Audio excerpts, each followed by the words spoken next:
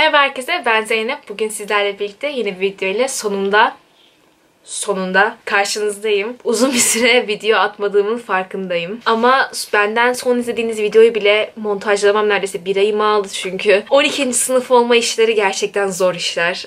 Bugün geçen sene de yaptığım bir videoyu yapmak istiyorum sizinle beraber. Yani umarım yapabilirim. 2019'da ne dinledim videosunu yapacağım. Geçen sene de yapmıştım. Biliyorsunuz Spotify her senenin sonunda liste paylaşıyor. Kişiye özel bir liste. Ve en sevdiğin şarkıları, en sevdiğin sanatçıları falan paylaşıyorsun. Paylaşıyor ve inceliyor. Neyse çok konuşamadım. Son birkaç senedir her zaman bak her zaman diyorum en sevdiğim tür pop müzik çıkıyor. Benim en sevdiğim tür kesinlikle pop müzik değil. Ve eminim bundan da. Bu sene eminim ki en azından alternatif, en azından indie, indie pop falan çıkacak. Umarım yani öyle olur çünkü artık pop dinlemiyorum. Allah'ım çıldıracağım.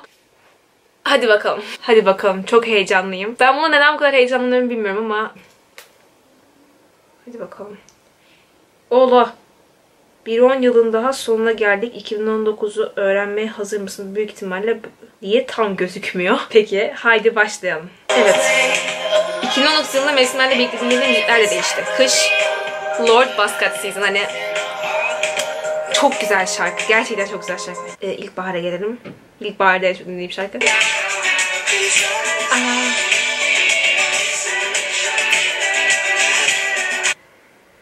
Yaz. Yazın bakalım hangi şarkıyı en çok dinlemişim. Ar.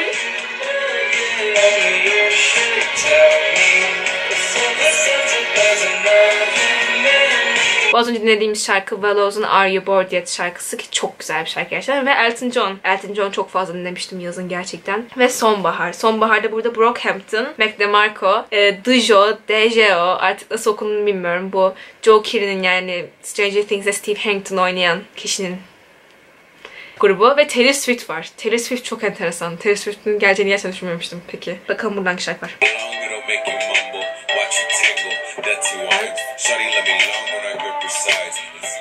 Ee, bu da Brockhampton Gold'du. Bir numara şanslı bir sanatçı yükseldi. Five Sauce. Şaşırmadım.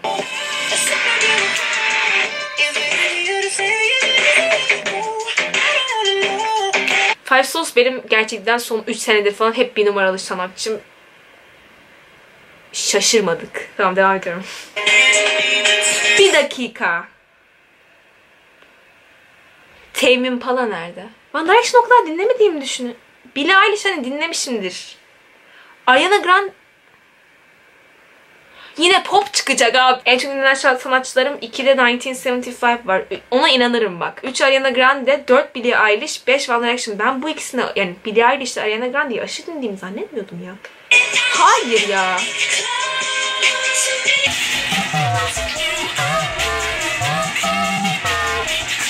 Pop en çok dinlemişim. Indie Pop 2. 2020 artık indie pop dinlediğim zamanlar olacak. Kafayı sıyıracağım. Ve en çok da şu şarkıları sevdim. En çok Sunshine mı dinlemişim? İnanılmaz. Bir Sunshine, Dresses, az önce dinletmiştim bunu. Sonra iki Buzzcut Season. Üç New Light, John Mayer. Dört Close to Me, Ellie Goulding Diplo. Bu şarkı Parachute Amir, gerçekten çok güzel şarkı. Can We Kiss Forever Kina 6. Are You Bored Yet Wallows 7. My Strange Addiction 8. Real Estate 9. Randevu 10. Aa 2017 yılından beri premiumlu olduğun için teşekkürler. Aa, aa önemli değil. Para dediğime sevindim. O. Bu yıl 361 yeni sanatçı keşfettim. Oha. Ama ritmleri çok Dijo ile uyuştu. Evet kesinlikle katılıyorum. 12 şarkısını keşfettim ve bir albüm dinledim ve müzikleri 7 saat geçirdim.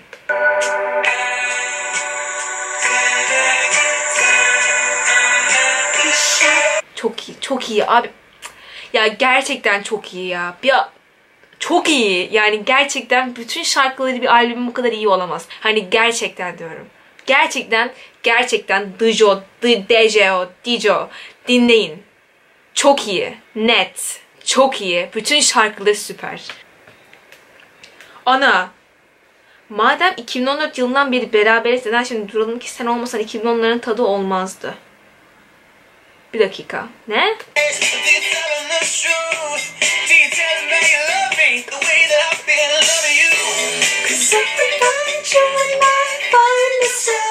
Bu şarkı ne alaka? Bir dakika ne oluyor şu an? Ben bu şarkıyı bu sene maksimum iki kere dinledim. Aa! Çok şaşırdım. Aa! Bakar mısınız? 2016 2016'dan 2019'a kadar en çok dinlenen şarkı sanatçım hep Five Sauce. Şaşırmadım. 2018'de en çok dinlenen şarkı Want You Back. Five Sauce, Five Sauce yani ikisi de Five Sauce. Burada 2018'de çünkü Young Bud albümü çıkmıştı. Yani o albüm gerçekten en sevdiğim albümlerden biri yani. Genel olarak. Buranın? Senin için 10 yılın şarkısı.